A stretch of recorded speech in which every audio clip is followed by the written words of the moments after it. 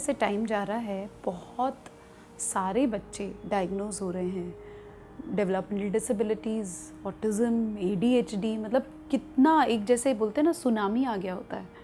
तो आपके हिसाब से क्या वजह है कि इतना बढ़ कैसे गया है? अगेन uh, हमें थोड़ा शुरुआत से इस पर uh, गौर करना पड़ेगा। uh, पहले इसको uh, माना गया कि एक साइकाइट्रिक डिसऑर्डर है। फिर कुछ दिनों बाद ये सोचा गया कि एक जेनेटिक डिसऑर्डर है, क्योंकि कई सारी ऐसे जेनेटिक कंडीशंस हैं, जैसे फ्रजाइल एक्स रेड सिंड्रोम जिनमें ऑटिज़म भी इंक्लूडेड है। मतलब वो बच्चे भी ऑटिस्टिक फीचर्स दिखाते, दिखाते हैं। तो फिर खोज रिसर्चर्स खोज करने लगे कि ऑटिज़म का जीन कौन सा है। लेकिन इतने साल के रिसर्च के बाद भी वो ढूंढ नहीं पाए हैं कि कौन सा एक वो ऑटिज़म का जीन है।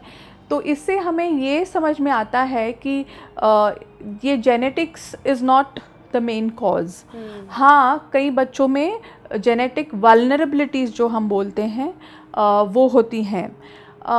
For example genetic vulnerabilities are like a loaded gun लेकिन जो जब तक वो ट्रिगर नहीं दबता तब तक वो गन कोई हार्म नहीं कर सकता कोई हानि नहीं कर सकता।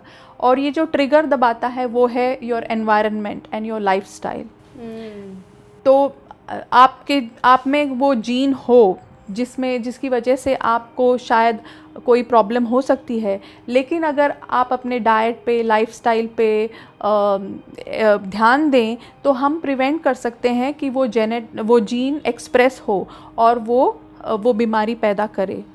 तो मेरे हिसाब से ना ना सिर्फ़ ऑटिज़म बल्कि कई सारे जो क्रॉनिक न्यूरो डिजनरेटिव बीमारियाँ हैं, उनका कारण है our lifestyle and our diet for example हम प्रोसेस फ़ूड ज़्यादा खाने लगे हैं पैकेज फ़ूड बहुत ज़्यादा खाने लगे हैं, जिसमें प्रेजर्वेटिव्स होते हैं केमिकल्स होते हैं, उस वजह से हमारे जो बॉडी सिस्टम्स होते हैं वो अफेक्ट होते हैं।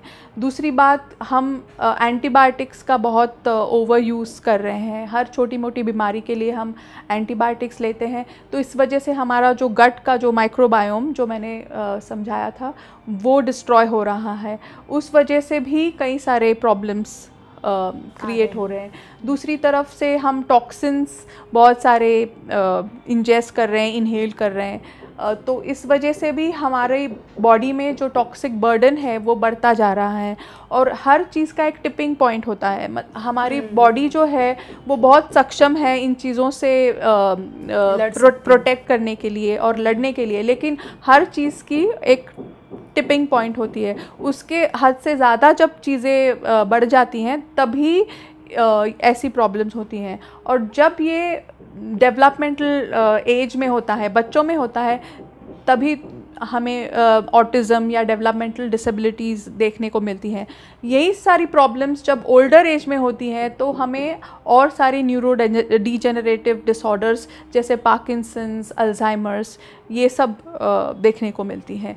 तो द पैथोफिजियोलॉजी और the causative elements are the same सिर्फ़ वो एक्सपोजर uh, किस एज में हाँ किस एज में होता है किस टाइम लाइन में होता है उस हिसाब से हाँ इस पे डिपेंड करता है कि वो uh, कैसे प्रेजेंट करे।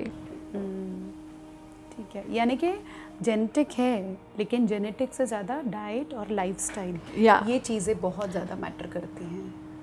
और जो genes genetics is like a blueprint लेकिन वो एक्सप्रेस होते कि नहीं वो हमारे लाइफ स्टाइल पे और डाइट uh, पे डिपेंड करता है और इसे हम एपीजेनेटिक्स करते हाँ, कहते हैं। हाँ. uh, इसका मतलब है कि something epigenetics literally means above the genetics so there is something which controls even the genetic expression and that is what we call as epigenetics. So we can say that autism and many other disorders uh, like I mentioned the chronic uh, uh, neurodegenerative disorders are epigenetic disorders rather than genetic disorders. We have uh, Dr. Shanta Venkat with us. She is MAPS certified doctor. MAPS stands for Medical Academy of Pediatric Special Needs and uh, she works with kids with autism and other kids who have developmental disabilities. We have a lot of questions that we've asked her. Stay tuned to this channel to learn more from her and let's grow together. Thank you.